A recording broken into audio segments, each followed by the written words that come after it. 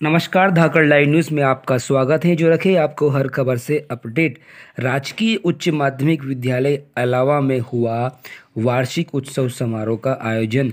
झालावाड़ ज़िले के राजकीय उच्च माध्यमिक विद्यालय अलावा में वार्षिक उत्सव समारोह का आयोजन किया गया, जहाँ पर ग्राम पंचायत अलावा में सरपंच ओम बाई मेरोठा और साथ ही अतिथि के रूप में, प्रतिनिधित्व के रूप में रामलाल जी मेरोठा मौजूद रहे। कार्यक्रम में बच्चों ने अलग अलग प्रकार की प्रस्तुति देकर इस कार्यक्रम को और भी आनंददायक बना दिया। आप इस वीडियो कवरेज के माध्यम से देख सकते हैं किस प्रकार से सांस्कृतिक कार्यक्रमों की प्रस्तुति दी जा रही है। कार्यक्रम में बात करें अगर स्टाफ की तो प्रधानाचार्य श्रीमती प्रमीला जी, वर अध्यापक मृगेंद्र शर्मा, राकेश गुप्ता लक्ष्मी नारायण जी राज राजू राजवंशी, अब्दुल सत्तार आदि इस कार्यक्रम में स्टाफगण के रूप में मौजूद रहे। कार्यक्रमों में सांस्कृतिक कार्यक्रमों की बहुत सुंदर तरीके से प्रस्तुति दी गई।